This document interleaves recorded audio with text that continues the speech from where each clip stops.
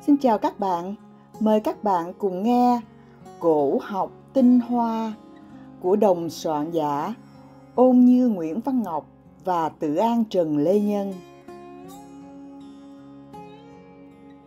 230 Tiễn một lời nói Đức Khổng Tử ở nước lỗ vào kinh đô nhà Chu, hỏi lễ ông Lão Đam, hỏi nhạc ông Trành Hoàng, xem xét cả giao xã, minh đường cùng triều đình, tùng miếu. Khi trở về, ông Lão Đam đưa chân có nói rằng, ta nghe người giàu sang tiễn người thì dùng của cải, người nhân hậu tiễn người thì dùng lời nói. Ta tuy không được giàu sang nhưng mang tiếng là người nhân hậu, vậy xin tiễn người một lời nói vậy. Này, phàm kẻ sĩ đời này, những người thông minh, sâu sắc, xét nét mà có khi thiệt mạng đều là kẻ hay chê bai, nghị luận tâm sự người ta cả. Những người bị bắt rộng rãi xa xôi mà có khi khổ thân đều là kẻ hay bới móc phơi bày tội lỗi người ta cả. Đức Khổng Tử nói, vâng, xin kính theo lời người dạy. Khi Đức Khổng Tử về đến nước lỗ, đạo của Ngài mỗi ngày một tôn, học trò của Ngài mỗi ngày một đông. Gia ngữ, giải nghĩa, lỗ, tên một nước nhỏ, có tự đời nhà Chu sao phải nước sở diệt mất, ở vào phủ Duyên Châu và Bỉ Tức tỉnh Sơn Đông ngày nay. Chu, tên chỗ kinh đô thiên tử nhà Chu đóng Lão Đam, tức là Lão Tử, họ Lý tên Nhi tự là Bá Dương, tổ đạo gia. Tranh Hoàng, người đời nhà Chu, làm chức đại phu, sau có tội bị giết. Giao, nơi vua tế trời về ngày đông chí, cho nên tế giao tức là tế trời. Xã, nơi vua tế đất về ngày hạ chí, cho nên tế xã gọi là tế đất. Minh Đường, nhà của vua, đời cổ làm ra nhà ấy để bày tỏ công việc chính giáo, cùng làm những điền lệ lớn. Lời bàn Bài này làm ra có ý phơi bày cái học thuyết khổng. Lão không giống nhau có nhiều điểm lại như phản đối hẳn. Đây là lời lão đam như có ý khuyên bảo khổng tử là người lúc bấy giờ hay đi chu du các nước định bày cái lẽ trái phải của vua các nước chư hầu. Nếu cứ rằng nay đây mai đó như thế mãi thì có khi nguy đến tính mệnh. Câu cuối bài nói vì lão đam khuyên bảo như thế mà đạo khổng tử được đông hơn là vì khổng thị biết nghe lời lão thị. Từ đó về chỉ chuyên có một mặt dạy học trò mà thôi. 231. Quý lời nói phải Vua nước Tấn đi chơi thuyền các quan đi hầu đông đủ cả. Vua hỏi, Loan Doanh ta đã cấm cố một nơi, con là Loan Phường trốn chạy ra ngoài quốc. Có ai biết Loan Phường bay dở ở đâu không? Các quan yên lặng, không ai nói gì cả. Người lái thuyền tên là Thanh Quyên buông tay chèo đứng dậy thưa rằng Nhà vua hỏi Loan Phường làm gì? Vua nói, từ khi ta đánh được họ Loan đến nay, nghe họ Loan người già chưa chết hết, người trẻ đã lớn lên. Ta lo họ phục thù, cho nên ta mới hỏi. Thanh Quyên, nếu nhà vua khéo sửa sang chính sách nước Tấn trong được lòng quan, ngoài được lòng dân, thì dù cho còn con họ nhà Loan mà làm gì được nhà vua. Nhưng nếu nhà vua không sửa sang chính sách nước Tấn, trong mất lòng quan, ngoài mất lòng dân thì ngay cả những người ngồi trong thuyền này ai cũng là con nhà họ Loan cả. Vua khen, ngươi nói phải lắm. Rồi sáng hôm sau cho đồi Thanh Quyên đến, ban cho một vạn mẫu ruộng. Thanh Quyên từ không nhận. Vua nói, giấy một vạn mẫu ruộng ấy đổi lấy một lời nói kia. Kể ra nhà người còn thiệt mà quả nhân còn lợi nhiều, nhà người cứ lấy. Ấy người đời cổ quý lời nói phải như thế đấy. Thi tự, giải nghĩa, tấn, tên một nước thời Xuân Thu ở vào vùng Sơn Tây ngày nay. Loan Doanh, người nước Tấn, thời Xuân Thu, làm quan hạ khanh sao phải tội giết cả họ. Cầm cố, giam cầm riêng một nơi rất là nghiêm ngặt. Thi tử, người nước lỗ đời nhà Chu, thầy học thương ưởng, có làm sách 20 thiên, lời bàn. Sợ người phục thù mà muốn giết chết hết cả họ người ta, thế là tàn nhẫn mà đã chắc trừ hẳn được hết mối oán thù chưa? hay lại chỉ gây cho mối oán thù ngày càng to lên. Kẻ có quyền thế chỉ có thể giết chết người, chớ có bao giờ giết chết được lòng người. Cho nên lo sợ như vua Tấn đây chỉ là biết lo sợ người ngoài muốn làm hại mình mà thôi. sao cho bằng phòng bị như Thanh Quyên mới là biết tự làm cho mình khỏe hơn. Sợ người nhưng người chẳng nể mình thì sợ sao cho được, chớ làm cho mình khỏe. Dù cho người ngoài đáng sợ cũng không cần sợ. Khi mình là người có đức và có sức thì ai cũng là bạn mình cả. Dù có cừu địch, cừu địch cũng không làm gì nổi. Chớ nếu mình tàn ác thì đến cả những người ở ngay bên mình cũng thành ra cừu địch mà hại mình được cả. Thanh Quyên bày tỏ cái ý ấy rất phải mà vua Tấn biết nghe cũng là đáng khen lắm vậy. 232. Tư tưởng lão tử Một, cái đẹp mà đến thiên hạ đua nhau cho là đẹp là cái đẹp rất xấu. Cái hay mà đến thiên hạ mượn tiếng để làm hay là cái hay rất dở. Hai, để thân lại sau mà thân được ở trước, gác thân ra ngoài mà thân vẫn còn mãi. Thế chẳng phải là bởi mình không có lòng riêng cho nên mới được thỏa lòng riêng ư. 3. Tuy là cương cường nhưng giữ tính mềm dẻo. Tuy là sáng sủa nhưng giữ cách ngu tối. Tuy là vinh hiển nhưng giữ lối tầm thường. 4. Học cho rộng trí không thì ngày một hay. Tin lẽ huyền bí, lâu hóa vẫn vơ, thì một ngày một dở. 5 trộn lẫn cái hay của mình với đời để làm thân thiết, cùng chịu cái dở của đời với mình mà vẫn trong sạch. 6. Có ba điều quý báu, một là từ, hai là kiệm, ba là chẳng dám phạm vào việc bất tường của thiên hạ. 7. Ta mà lo phiền, sợ hãi vì ta có thân ta, đến khi ta đã không có thân ta, thì ta còn có lo phiền, sợ hãi gì nữa. Lão Tử, Lời bàn Ba câu trên là nói ngược lại cái thối đời. Câu một cái ngược ấy là dở, Câu hai và ba cái ngược ấy lợi cho mình, Câu bốn nói cách học hành, Câu năm nói cách xử thế, Câu sáu nói các đức tính nên có, Câu bảy nói sự người thân. Những câu vật này tuy mỗi câu nói một việc Nhưng tự trung câu nào cũng hàm xúc một cái tư tưởng vô danh, Vô vi là cái tôn chỉ của đạo lão đạo của lão tử cốt ở vô vi. Muốn cho thành được vô vi, thì người ta trước hết phải vô dục, vô cầu, vô tranh, vô danh như những câu nói trong bài này. Khi đã được như thế, thì mỗi cảnh có một cái thú cho mình, cái sướng cho người, loài người ở với nhau được hòa bình mà không mấy khi xảy ra sự tàn. Hại lẫn nhau nữa, quý thật, đến đem cái đức mà báo oán, thì còn oán nào mà chẳng tan. 233 làm nhà cỏ cũng đủ. Vua nước Trịnh sang nước Sở, tử sản theo đi tướng lễ, chỉ cho làm nhà cỏ để ở, không lập đàn gì cả. Các quan theo hầu thấy vậy nói, các quan đời trước theo tiên quan đi sang các nước lân bang đều lập đàn hết cả. Nay ông chỉ cho làm nhà cỏ thì chẳng là không hợp lễ ư. Tử sản bảo, vua nước lớn đến nước nhỏ thì lập đàn, Vua nước nhỏ đế nước lớn thì làm nhà cỏ cũng đủ, lập đàn mà làm gì? Ta nghe vua nước lớn đến nước nhỏ có năm điều hay cho nước nhỏ. Một, có tội thì khoan cho. Hai, có lỗi thì thứ cho. Ba, có tai nạn thì cứu cho. Bốn, chính sách hay thì thưởng cho. Năm, có điều dở thì dạy cho. Nước nhỏ không phải cái gì là khổ sở mà yêu nước lớn như một nhà cho nên mới lập đàn để biểu dương công của nước lớn và bảo con cháu sao chăm việc tu đức không được hưởng hờ. Còn như nước nhỏ đến nước lớn có năm điều xấu là nước nhỏ. Một, có tội phải đi giải quyết. Hai, có điều kém phải xin này. Ba, có mệnh lệnh của nước lớn phải tuân theo. Bốn, có việc chức công phải cung phụng. Năm, có việc triều hội phải theo đòi. Nếu chẳng phải năm việc ấy, thì lại là việc đem tiền của để mừng hay viếng nước lớn. Phàm những việc ấy đều là tai vạ cho người nhỏ cả. Lập đàn làm gì? Chỉ tổ bêu những tai vạ mà làm nhục cho con cháu. Tá truyện Giải nghĩa Trịnh Tên một nước nhỏ thời Xuân Thu ở vào huyện Tân Trịnh, tỉnh Hà. Năm ngày nay, lời bàn, câu tự sản nói rất phải. Khi người lớn đã hạ cố sang đến nước nhỏ, thường thường là lợi cho nước nhỏ. Nước nhỏ trọng vọng lập đàn lên để tiếp là con nghĩa. Còn khi nước nhỏ đã bất đắc dĩ phải sang nước lớn thì thường thường lại là tai hại cho nước nhỏ. nước nhỏ nên khiêm nhường chỉ làm cái nhà cỏ cho xong việc là đủ.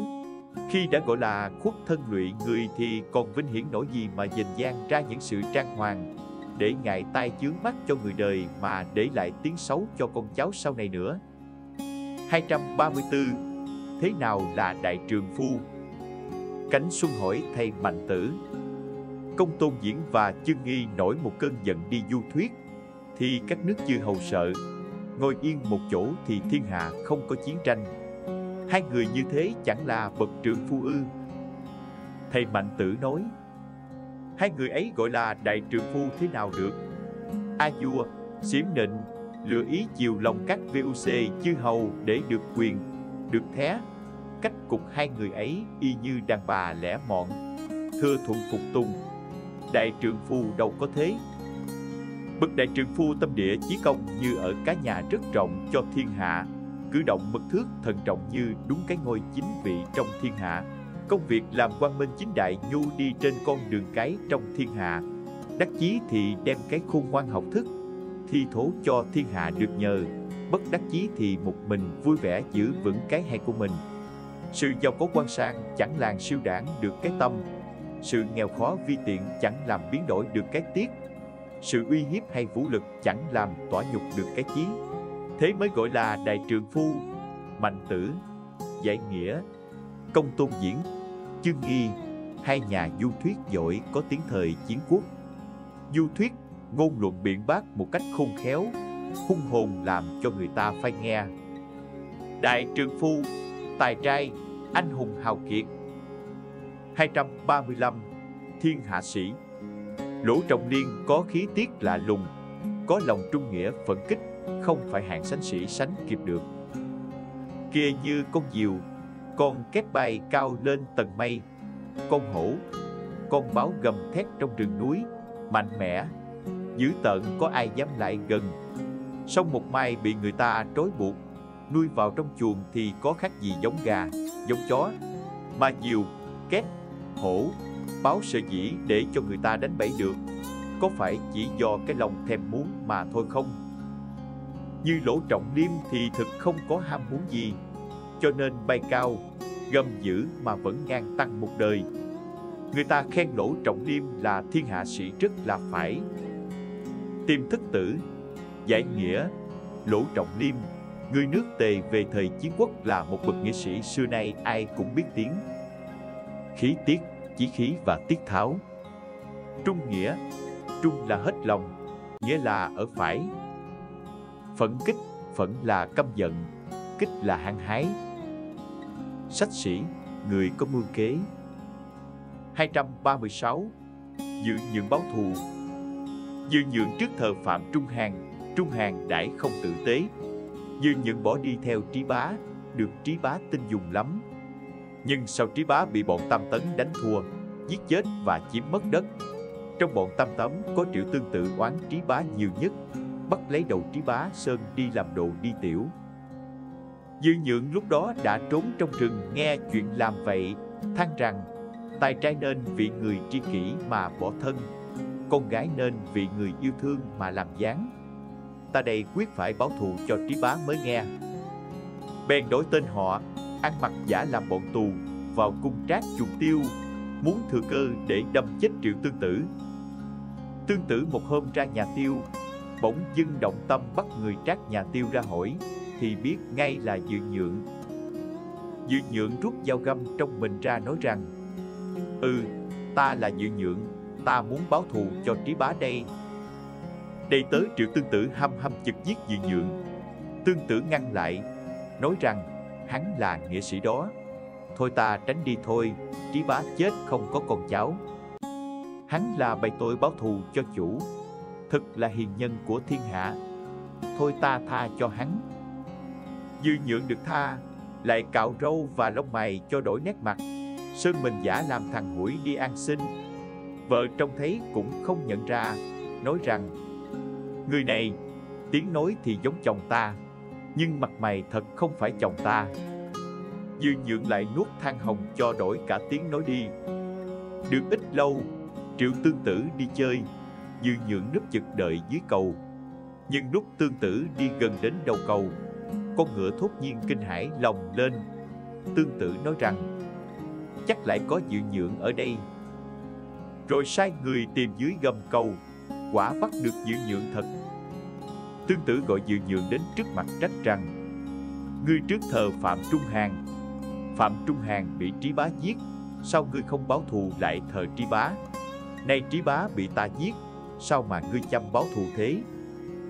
dự Nhượng nói, trước tôi có thờ Phạm Trung Hàng thật, nhưng Phạm Trung Hàng đẩy tôi như bọn tầm thường, nên tôi lại lấy cách tầm thường mà ở lại.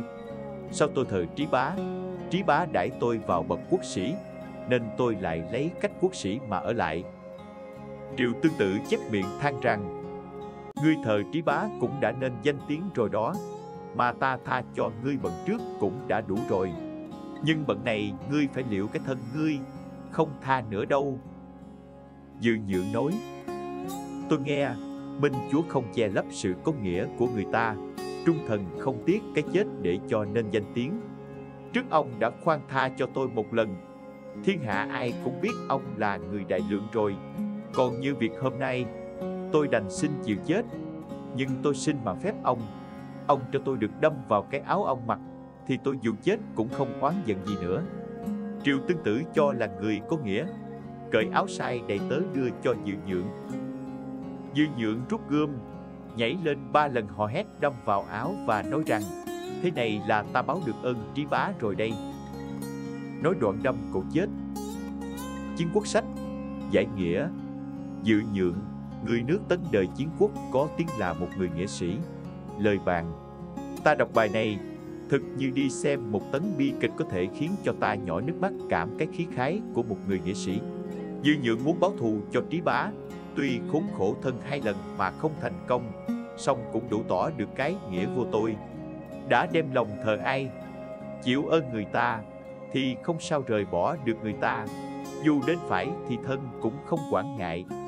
Thằng ôi, nếu triệu tương tử lần trước tâm không động lần sau ngựa không lòng thì biết đâu tấn kịch lại không xoay đi thế khác.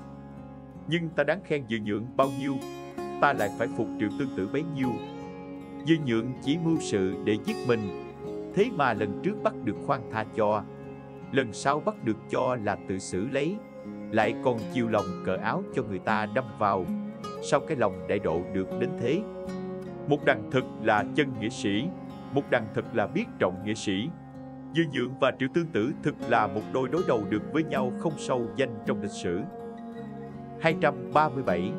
Quan Tài Con Tại chùa Tô Châu có một nhà sư tên gọi Viên Thủ Trung tu hành đắc đạo. Nhà sư thường bày trên án thư, trước chỗ ngồi một cái quan tài con bằng gỗ bách đàn. Dài độ ba tấc, có một cái nắp đậy, mở được. Khách đến chơi trông thấy, cười nói rằng Người chế ra cái này dùng để làm gì?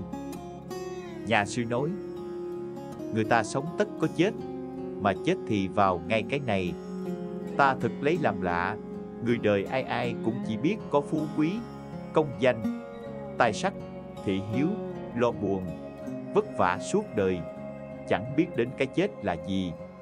Như ta đây mỗi khi có việc không được như ý, ta cầm lấy cái này mà ngắm xem là tức khắc trong tâm ta được yên ổn mà muôn nghìn sự tư lự đều lân lân sạch như không. Cái quan tài con này đủ thay lời huấn, lời giới của bậc nghiêm sự, bài trên bài mình treo bên chỗ ngồi vậy. Mai Hiên bút ký, giải nghĩa, Tô Châu, huyện Ngô thuộc về tỉnh Giang Tô bây giờ. Bạch đàn, thứ gỗ rắn và thơm, dùng làm đồ đạc dùng làm hương thấp. 238. Lệch thừa không bằng ngai thiếu, Kim Lâu là một bậc cao sĩ nước Tề về thời Xuân Thu. Tính ông thẳng, bao giờ cũng giữ đạo phải, không chịu khuất thân để theo đời. Các nước chư hầu nhiều nước mời ra làm khanh tướng nhưng ông không thuận. Vua Uy Vương nhà Chu Kính thời ông như thầy.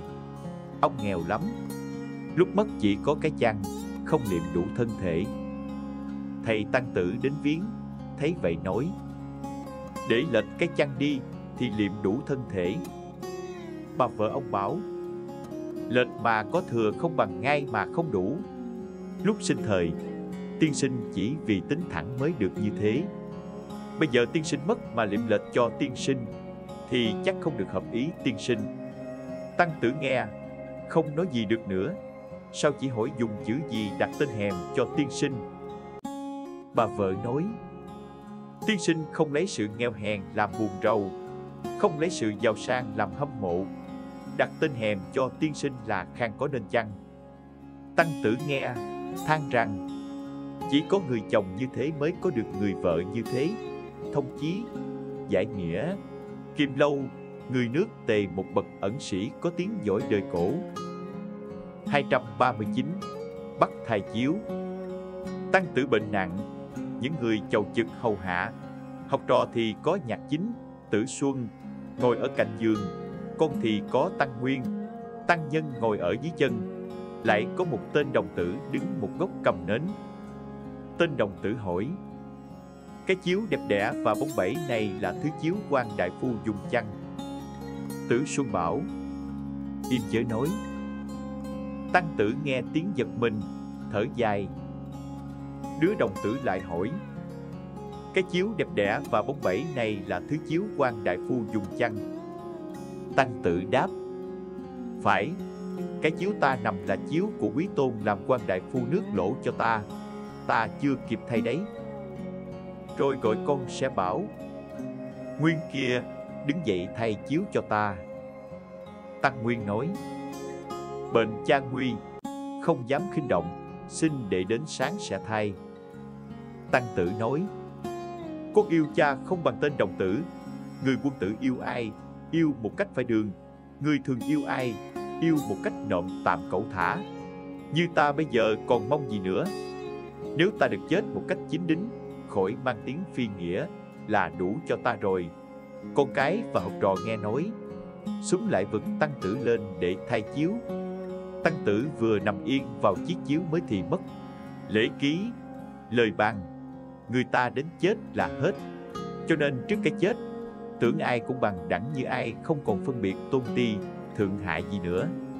Tuy vậy, thầy Tăng Tủ dù biết chết đến nơi cũng còn thao thủ, không muốn việc phận, không chịu đeo tiếng phi nghĩa, thế mới hay cổ nhân lập chí, thương vạch một con đường quang minh chính đại để suốt đời noi theo dù đến hơi thở cuối cùng mà vô ý lỡ đi sai, cũng nhất quyết không chịu.